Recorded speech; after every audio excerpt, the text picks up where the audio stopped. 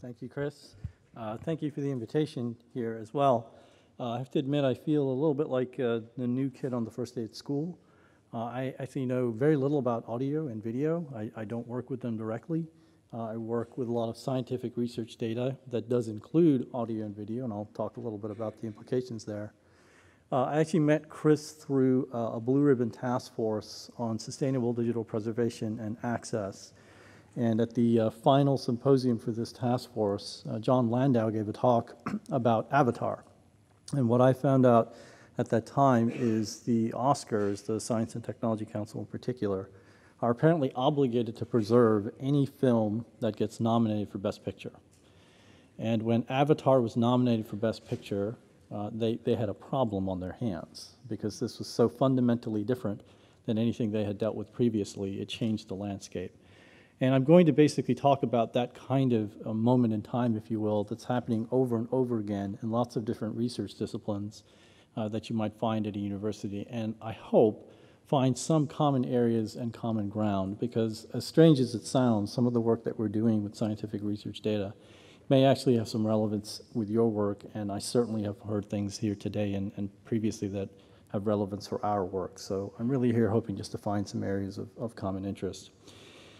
Where I come from is the libraries at Johns Hopkins. We are charged with building a large data archive uh, for all of the research output of our university. Uh, Hopkins is the largest recipient of federal grant funding dollars for the last 30, 35 years. I don't know exactly the right number. Just to give you a sense of the order of magnitude, we get just under $2 billion of funding uh, from the federal government in any given year. The vast majority of that is medical, uh, but as you might imagine, there are lots of other disciplines, lots of other grants. So we have a fairly large uh, remit or problem on our hands. And even beyond the university, many, many, if not most of our faculty members are now collaborating uh, with their colleagues at other institutions and universities. And I'll be talking a little bit about one of those projects. Uh, I've led for the past few years something called the Data Conservancy. Uh, this was a $10 million award through the National Science Foundation. Uh, I've been the principal investigator or the project director for that, and a lot of the work that you uh, that I'll be talking about uh, comes from that particular effort. So just quickly, the, the sort of the points that I want to lay out for you. We've been using uh, what we call a data management stack model uh, to describe some of the work we do, and I'll, I'll go over that a little bit. I, I want to include a, a, definition for preservation because one of the interesting things I note about coming to conferences where I don't typically attend is we may be talking about the same things, but we use different words. Uh, or we may be using the same words and be talking about different things. So I think it may be helpful at, at some, at some level for me to give you this definition of what constitutes preservation in, our context. The, the, Sloan Digital Sky Survey, or SDSS, is a large community uh, digital astronomy project that has been running for over 20 years now. We've been involved with that community for over a decade over that 20 years. Uh, and that's the main uh, case study that I'll, I'll, be describing today. And then a few comments about possible similarities uh, in terms of our communities, our problems, and maybe our approaches. And then a, a, a, call for maybe what are some grand challenges we might try to address together. What you see here uh, is a poster that we submitted to something well, called the International Digital Curation Conference a couple of years ago. And you don't need to worry about all, all the sort of nitty gritty detail on the slides. Um, but what I think would be most important to focus on is this center kind of stack here. You see this cube. And there are four rows in that uh, particular stack. There's storage, archiving, preservation, and curation. Now, one of the things that happened at Hopkins when we start, first started dealing with our researchers in terms of data management is they would use these words interchangeably. They would say, I am preserving my data, I don't need your help uh, or I, I know what to do when I'm archiving the data and so on. And what we found is that, not surprisingly, these are experts in their domain. They're not necessarily experts in data management. Uh, they were using these terms to mean different things, and we thought it was really important to come up with a common framework and a common model so that we could have communication with them. And I'm not implying this is, you know, it's a canonical model that everybody needs to use. Uh, but it is one that we have found very helpful in our conversations at, at, Hopkins and now beyond. I'm told that this is being used in some of the library and information science schools and some of the data management training that takes place within particular communities and, and domains. And it's a hierarchical model in the sense that storage is necessary but not sufficient for archiving, and archiving is, is necessary but not sufficient uh, for preservation, and then so on up to curation. And by storage, uh, you know, I mean what you might imagine: bits on tape, disk in the cloud, uh, with some sort of backup and restore capability.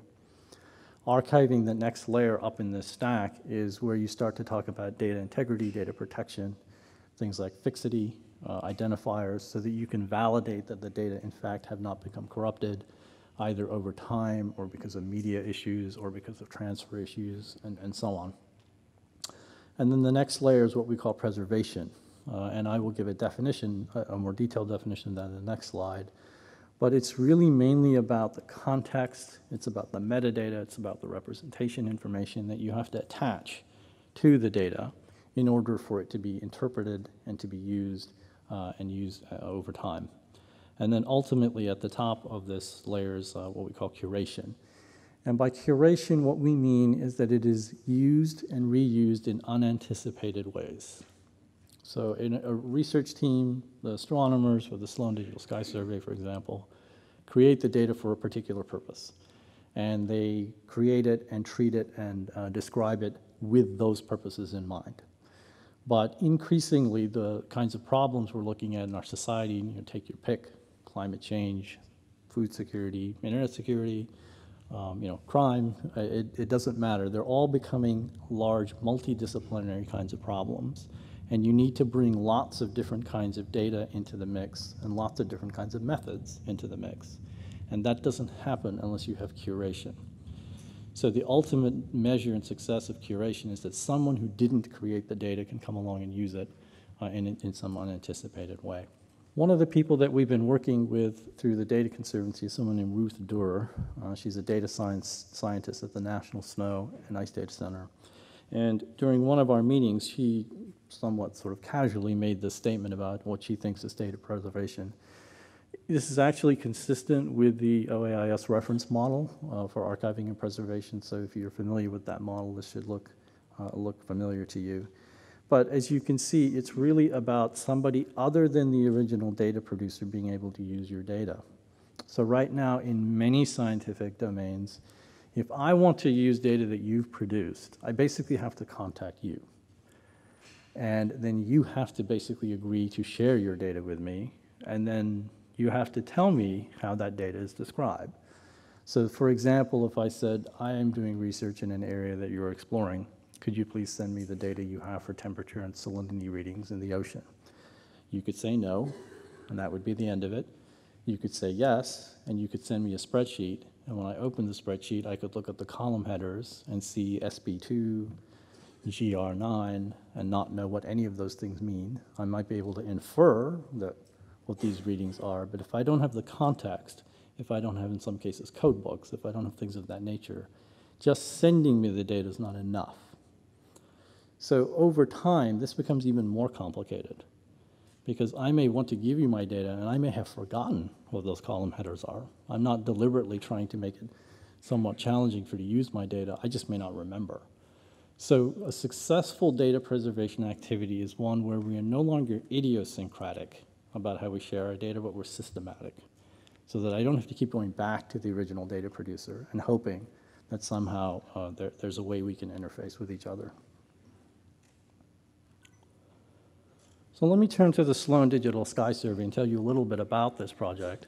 Uh, it started, as I said, about 20 years ago. Uh, it was a large community-based effort. It continues to grow. And it was, in many ways, an unprecedented project, an exemplar, if you will, of an early, what we're calling, you know, cyber science or e-science type of project. In uh, a couple of days of the Sloan Digital or SDSS survey, they acquired certain types of astronomy data that spanned and, and, and uh, surpassed all of the acquisition of astronomy data prior to that. So just to give you a sense of the scale. To give you a sense of where we are today, the modern astronomy projects that are coming online in the next few years, in a week, will acquire as much data as SDSS did. So there's an exponential growth in terms of how much data is being captured by these large-scale projects. Uh, it's also something that in many ways democratized, if you want to call it that, the use of astronomy data. So the astronomers with SDSS acquire data and then eventually publish them on a website called SkyServer, uh, and they do so in the form of data releases, as they call them. They actually call them publications.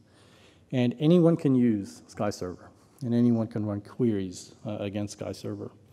There are apparently about 10,000 professional astronomers in the world, and there are over a million registered users of SkyServer. Now, not every one of them is active, no doubt, but even if a tenth of them are active, that's 10 times more uh, than there are professional astronomers. Uh, astronomers have taken images from SDSS and moved them into something called Galaxy Zoo, which is a, a website you can go to, you register, take a brief tutorial, and then you start classifying galaxies. You're given images of a galaxy, and you're asked, is this an elliptical, is it a spiral, is it an irregular, and so on. Uh, there was a Dutch school teacher that was doing this particular project, uh, Galaxy Zoo, and she discovered a blue object in one of the images. And they asked, and she asked the astronomers, you should fix this, there's something wrong here. And the astronomers looked at it and repeatedly kept saying, we don't see anything wrong with this image, we're not really sure what to tell you. And they pointed a telescope at that portion of the sky, and it turned out she discovered a new object and in fact has been named after her. So th there's actual scientific contribution taking place now at this point through these kinds of websites. This is a slide that shows what's called the data flow of the SDSS data. And if you start at the top left corner is the actual telescope uh, out in New Mexico that they've used to map uh, the northern sky using the SDSS, uh, for the SDSS data. And if you keep going you know, downward and to the right, you go through these levels of data. So the astronomers call the telescope data level zero. And they're literally bits. They're ones and zeros that come straight off the telescope. And there may be some calibration data, there may be some environmental data, you know, temperature data, so on, things like that. I am told that there may be a dozen people in the world who can interpret that data. And we've always joked, please don't put them in the same room, please don't put them in the same plane, because they, these people basically the only ones who can take that data and move it down this processing pipeline.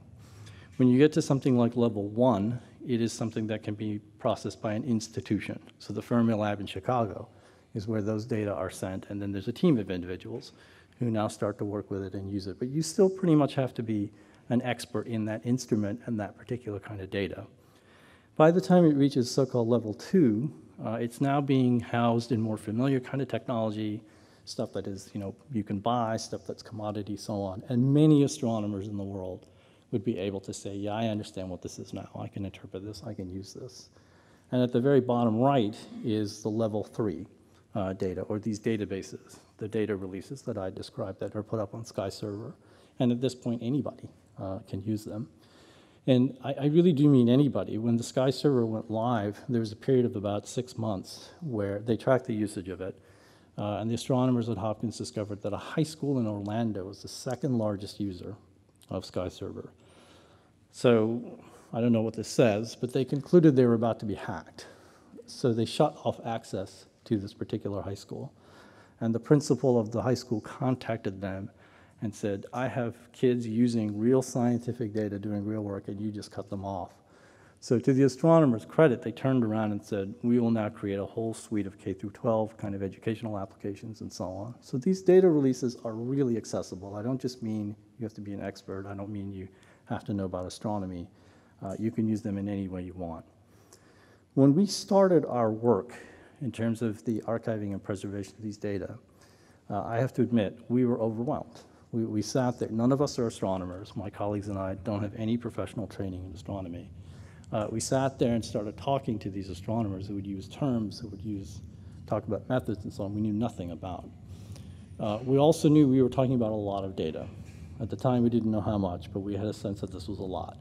So we tried to do something that was a little bit more tractable and basically said, is there something we can use that's familiar in terms of our world, in terms of the library, in terms of publishing, in terms of education, and so on? And what they said was, you know, there's actually a fourth level of data.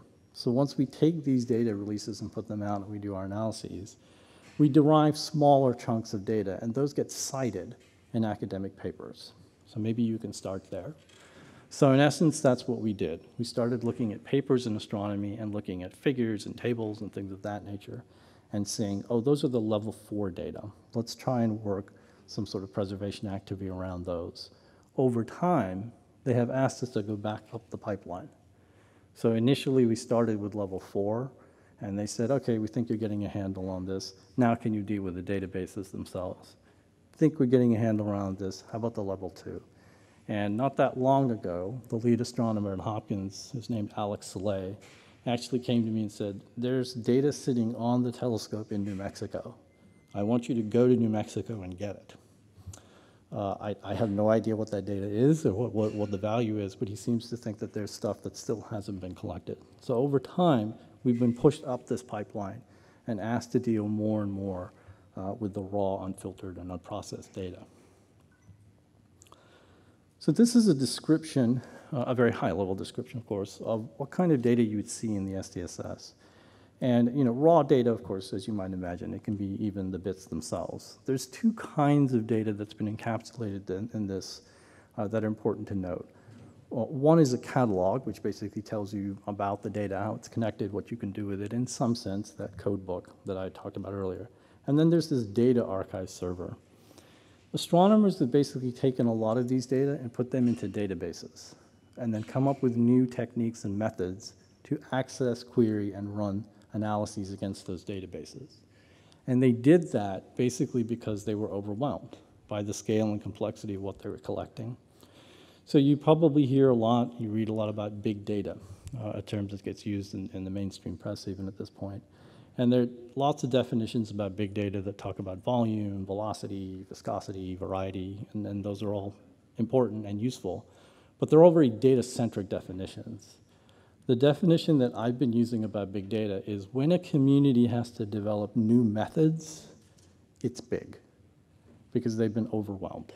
And they have to come up with new ways of managing, describing, curating the data, and then run new methods against them. That's what happened to the astronomers with SDSS.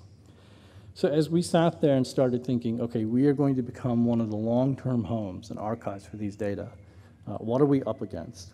And we basically started taking some of the data releases, we started moving up that pipeline and bringing data into our environment. And then we were ready, at least we thought we were ready, to take the whole thing in. And we found out it's about 160 terabytes of data. And we do have it all on site now, uh, and we do have two copies and we've done uh, the archiving work. But there was a little conversation earlier about ingestion processes and workflows and pipelines. We were completely broken by the ingestion process of bringing the SDSS data, and I'm not trying to be dramatic. Uh, the system administrator, my chief IT architect, and the software developers would literally come to me and say, can, can, we, can we back out of this? Really, do we have to do this? Because this is really killing us. And I said, no, we, we, we cannot back out of this. We're going to have to figure this out.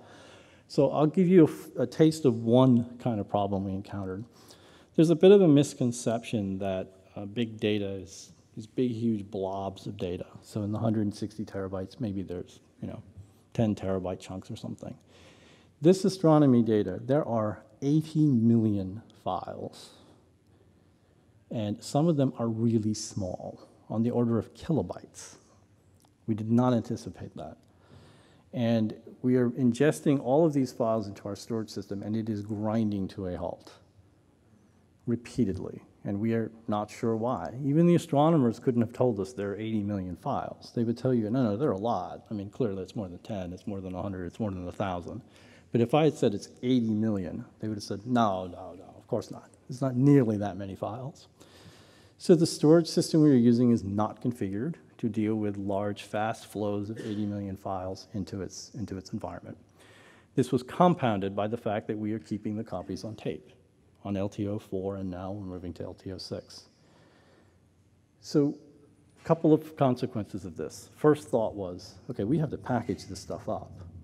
You know, we don't know, quite frankly, what the preservation implications might be of packaging it because we can tell you how we made the package, but we're not astronomers. So we may not be packaging it in sort of semantically meaningful ways. We're just doing it from an efficiency perspective. But we have to do this. The system simply can't operate properly in this way. So life is good. We package them up, we bring them in the system, performance improves. We're patting ourselves on the back, we're thinking life is good. Then we started to run fixity, or attach fixity information to it. and we discovered that the fixity wasn't granular enough. It was either happening at the block level of the storage system itself, which is what you got out of the box, or at the package level. So what happens if you run a fixity check later on and you're not sure if it's the block that's been compromised, or if it's the package that's been compromised, or if it's the underlying data, which elements of the underlying data have been compromised? These were not anticipated problems. We did not think about them in advance. We've been sort of retroactively trying to deal with them. And we've been talking to our storage vendor about this problem and to multiple storage vendors about this problem, and they acknowledge it, but I'm not really sure they've given us a solution to it. And as we may be moving into object-based storage, the question of do you keep things in files, do you keep things in databases, or do you start thinking of them as objects? There are profound implications from a preservation perspective about this particular set of questions. And I, I don't have answers for you. I'm just saying there are very important questions that we have to address. So for all, all of the suffering that we've had over the last few years of this, uh, we took, which I thought was uh, a fairly expected and predictable thing that an academic library would do, which was we put it out there for all to see. Uh, we basically said, here are the things we did, they didn't work. Here are the things we tried to fix it, and here are the things that maybe went, went okay. What I was surprised by is many of my colleagues who work in academic libraries basically said, thank you for doing this. You know, nobody else has done this. I can't go to some other public place and say, here are the issues we dealt with in ingesting large amounts of scientific data into our repository or into our archive. You seem to be the only guys willing to do this. And I think that's a problem. I, I mean, either the other institutions aren't fessing up, or they haven't dealt with this kind of problem, or they solved it, which would be great, and we'd definitely like to hear about it. But we think it's really important to put this information out there and try and find other, not just academic libraries universities, but other content managers, I'll just call it that, who may have similar problems so that we can start to, to talk to each other and work with each other. And we've classified these lessons learned according to that stack model that I showed you at the earlier slide. So it's broken down into storage, archiving, preservation, and curation. The agreement that we had originally with the SDSS folks was to preserve their data. We haven't gotten there. We were so stuck on the archiving piece uh, that we're only now beginning to address some of the preservation problems, but there are still pressing problems. So a little bit about what I think are some similarities in terms of some of the issues that I've raised here. Uh, I mentioned to you that it was actually a presentation by Jon Landau, the producer of Avatar, that started making me think about these commonalities. And when I told him about this work, he actually said, yeah, I think there are some similarities there. Because when it comes to something like Avatar, they're producing these sort of raw data files, if you will, and then generating and processing them to create the things we see on the screen. And there's an interesting question about which of those things do you preserve? Do you not care? Do you just redo everything? Or do you try and keep some of them and then use them later on? In many ways, James Cameron was a pioneer in terms of what he was doing with film and the way these astronomers were with their data. They go ahead because there's an interesting problem or an interesting creative kind of activity they want to work with, and they just forge right ahead. They build new instruments, maybe new data formats, certainly new methods and so on, and they do something really amazing. But they don't think about preservation. The, pres the astronomers kept saying, we preserve the data. And we would talk to them about what do you mean by that? And then they would say, actually, we haven't preserved the data. Here, you go preserve the data. So it's, you know, it's a be careful what you wish for a moment. Um, it, it's an incredible opportunity, quite frankly, from where I sit, it's an honor that they would trust us to try and do this. But it, it, it's not something they've considered in any way in an explicit manner as they started this. And Even in astronomy, they're generating so much data now that they can't even keep all of the data on their drives. They have to analyze it and then dump it off their systems. So this is only going to get harder, not easier. And the kinds of technologies we've been using to date, I don't think are particularly well prepared. And it's not even the technologies themselves, it's also the approaches that we have, sort of the processes, the assumptions we have about policies.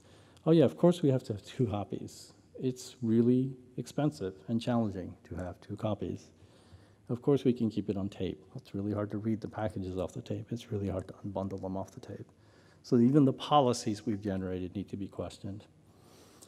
And I think, you know, I'm preaching to the choir, and, you know, I think the FBI presentation was awesome in terms of talking about this. We're dealing in new formats, new machines, new ways of acquiring data.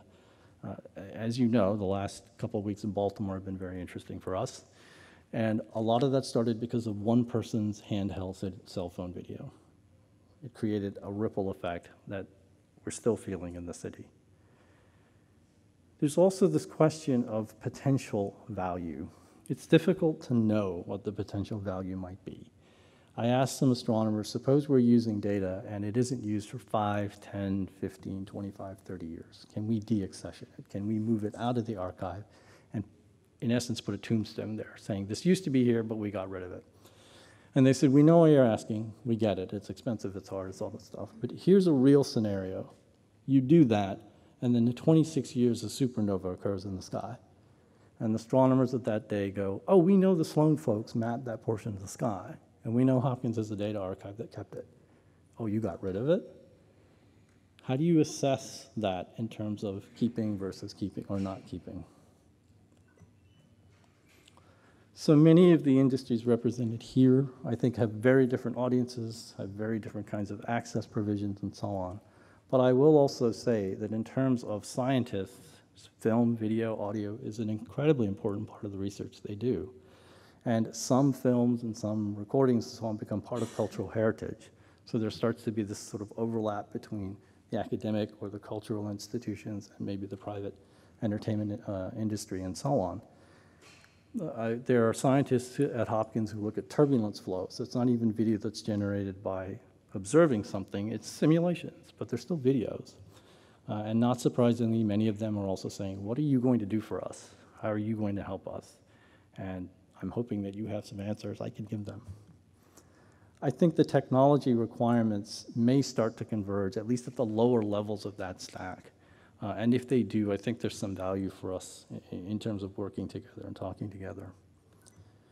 So the, the last sort of technical concept I'll put out there is uh, what we call uh, the information graph. So this is a project being funded by the Sloan Foundation called RMAP.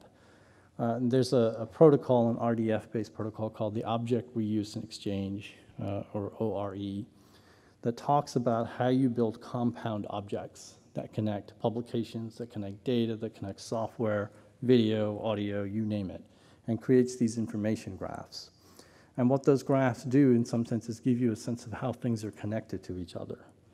And what's the provenance? Where were things derived from? What machines or people touched those data, and what did they do with them? And I do note that in some cases, if you're, I was having lunch and talking with uh, Dirk Van Dahl about Major League Baseball and this amazing work they're doing. And the question I asked him was, Are you using the same equipment in every stadium? And he said, Yes. And I thought, wow, I wish I could do that. I wish I could tell all the scientists, please use the following technology. I understand you have a greater degree of control in terms of what acquisition modes you use, but think about news. So the news media covering Baltimore had its cameras that I'm sure industry standard, and they know exactly what to do with them.